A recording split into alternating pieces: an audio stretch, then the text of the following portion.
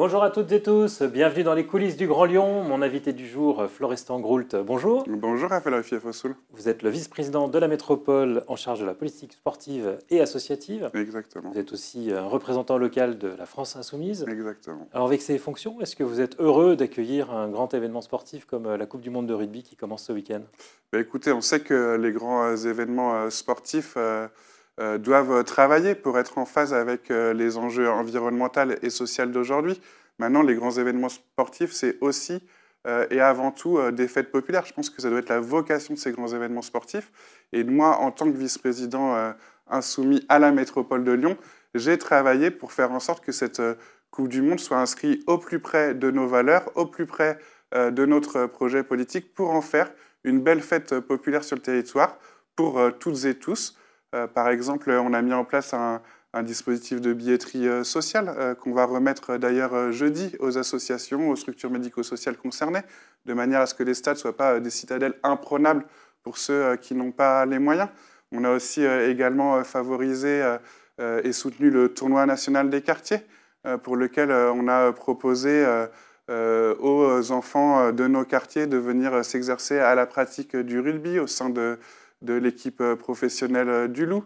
Euh, évidemment, on a soutenu et on participe à un beau village qui aura Place Bellecour. On participe à également. partir du 23 septembre, ce sera un, village des sponsors à la mode Coupe du Monde de la FIFA? Non, ce n'est pas un village des sponsors, c'est un village du rugby, du rugby inclusif pour toutes et tous. Et vous verrez qu'on aura des ateliers de baby rugby, il y aura des ateliers de sport santé, il y aura des ateliers où on va discuter de sport et du sens qu'on veut donner au sport. Et puis, ça sera aussi un village de fêtes et de rassemblements joyeux et populaires autour du rugby. Donc, tout sauf un village de sponsors, un village de vie et de festivité autour de l'Ovalie. On attend euh, l'équipe de France face à l'Italie euh, le 6 octobre. Oui. Est-ce que vous, vous allez euh, bouder l'équipe de France? Vous avez vu que vous étiez monté au créneau contre la sélection de, Bastien Chalureau. Plusieurs élus LFI d'ailleurs dénoncent sa sélection. Alors, plusieurs élus LFI effectivement dénoncent sa sélection. Permettez-moi effectivement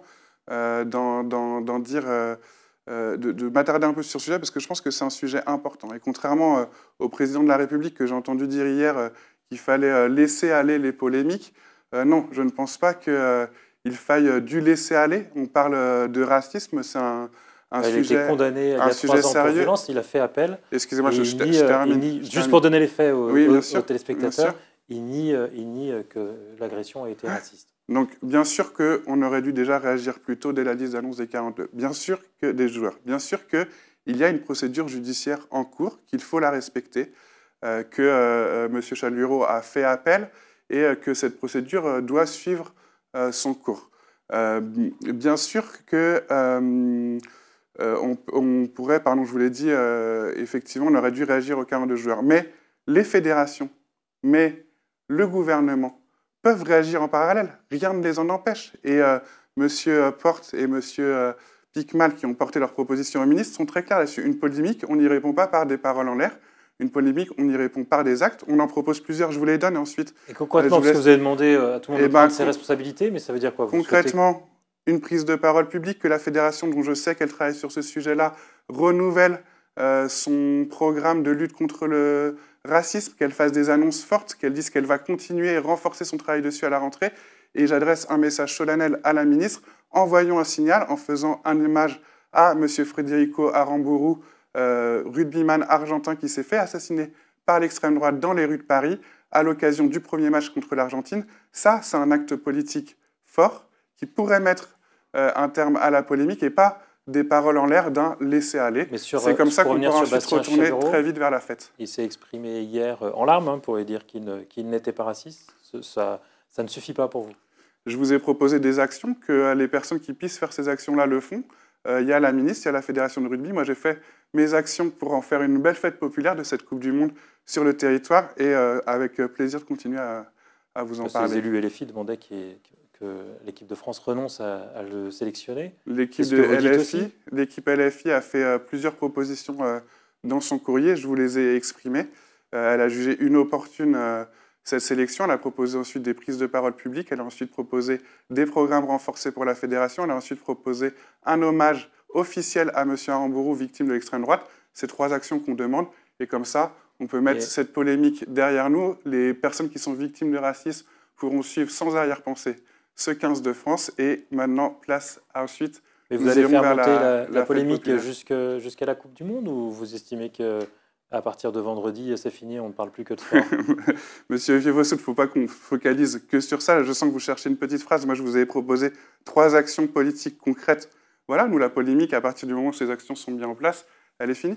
Bon, moi, je cherche rien, je vous pose des questions. Bah, exactement, je vous y réponds. Je continue euh, sur, euh, sur la politique, politique sportive. Mm. Euh, au cœur de l'actualité, c'est l'Olympique lyonnais. Comment vous regardez aujourd'hui la bataille entre Olas et, et Texor? Finalement, c'est la dérive du, foot business? Bah, C'est effectivement le versant euh, financier. Et ça ne vous surprendra pas si je vous dis que c'est euh, pas mon versant euh, préféré. Maintenant, c'est une situation que je suis avec attention. J'ai pris le tram pour aller au stade à l'Olympique lyonnais ce dimanche. Il y a là une ferveur populaire autour de cette équipe. Hein. Cette équipe, c'est aussi un patrimoine commun des Lyonnais. Donc, on suit avec attention la situation de l'Olympique lyonnais. Mais ce qui regarde M. Olas et M. Textor les regarde et qu'est-ce que la métropole peut faire? Eh ben, Nous, on est attentifs. Il y a une vente qui s'est conclue entre ces deux personnes. On est attentifs aux, aux, échanges qu'il y a entre les deux. Mais euh, par définition, euh, ça nous échappe. C'est peut-être aussi une des limites euh, de cette ultra-financiarisation du foot. Et vous êtes en, soutien de, de l'un ou de l'autre? Je ne crois pas que ça m'appartient d'être avocat de droit d'affaires, donc je les laisse gérer cette situation. Quand vous voyez euh, Jean-Michel Aulas qui est choisi euh, par l'évêché euh, pour représenter les Lyonnais aux vœux aux échevins cette semaine, mhm. vous en pensez quoi? Bah, c'est, Ça lui appartient de faire ce choix. Donc, c'est une personne connue des grands Lyonnaises et des grands Lyonnais. Donc, il fait le choix qu'il souhaite. Ça vous, ça, vous aspire rien? Non, je, trouve que c'est, son choix personnel à lui. Quelle trace laissera Jean-Michel Aulas pour vous? Bah, Jean-Michel Aulas, euh, c'est une figure euh, grand lyonnaise, donc euh, il y, a, effectivement des moments où je n'aurais pas fait les mêmes choix que lui. Maintenant, il est attaché à cette équipe de foot de Lyon. il l'a démontré pendant ses multiples années d'activité, donc il en a fait aussi une belle équipe. Et bon, bah, aujourd'hui, il l'a dit sur Téléfoot ce dimanche, il, est en train de devenir un supporter de cette équipe qu'il a bâtie pendant les nombreuses années. Un mot sur, euh, sur votre politique sportive. Mhm. Vous avez été nommé euh, l'année dernière.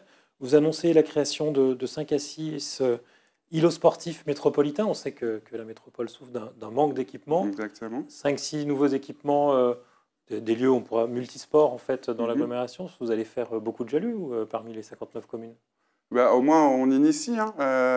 on initie un programme pour encourager à, à développer ces équipements en plein air, en accès libre avec quand même une animation par un club de sport partenaire pour faire vivre euh, ces espaces.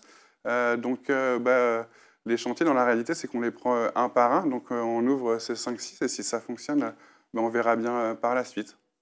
Un mot en tout cas, on est très fiers pardon, de, de ces équipements qu'on a construits aussi avec des bureaux d'études qui sont spécialistes dans l'étude d'usage et dans l'appropriation de ces îlots sportifs qui vont permettre de, de, rassembler différents ateliers de sport. Il y aura peut-être des city-stades, du basket 3-3, des places d'îlots de fraîcheur.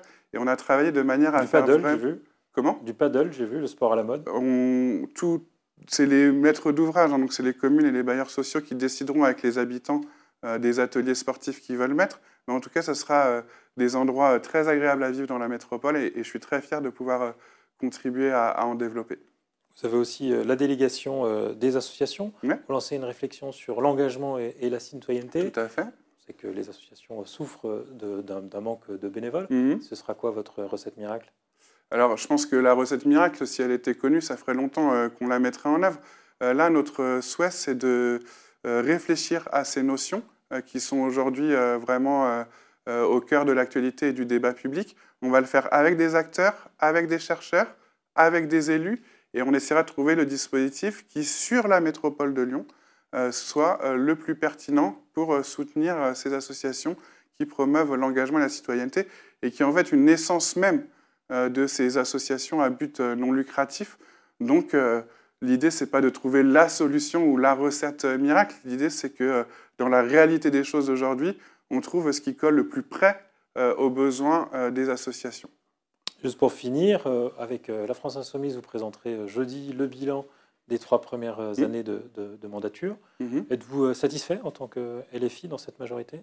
Eh ben oui, on est satisfait. On a une majorité qui a un socle d'idées communes, où on a des réussites communes. Ça nous est arrivé sur quelques dossiers de prendre des voies différentes, mais la régie publique, le revenu solidarité jeune, la gratuité déjà pour, partielle pour un grand nombre de personnes, le plan nature, la désimperméabilisation, les îlots de fraîcheur, tout ça, c'est des succès dont on est fier et euh, qu'on va continuer à bâtir ensemble avec notre politique sportive. Et bientôt, quand vous me réinviterez, je pourrai euh, y rajouter à la fin de la liste 5 ou 6 îlots sportifs, je l'espère. Comme vous n'avez pas de, minorité euh, de, blocage quand vous vous opposez, comme notamment sur les, zones à faible émission juste avant l'été, ça n'a pas de conséquences pour la majorité de Bono Bernard Non, je crois que c'est faux là ce que vous dites, Monsieur Ruffier-Fossoul.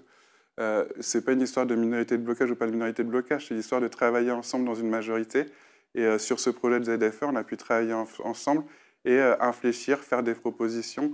Et euh, la proposition initiale, parce qu'on est dans un cadre de, majorité ouverte et de dialogue, est différente que si on n'avait pas été là. Donc on est effectivement, on n'a pas d'incidence sur le vote, mais on a une incidence sur les projets. Ce qui nous intéresse en tant qu'LFI, c'est d'avoir une incidence sur la vie des gens et sur les projets. Donc on en est très satisfait. Florestan Groult, je vous remercie. Et puis moi, je vous dis à demain pour une nouvelle émission des coulisses du Grand Lyon.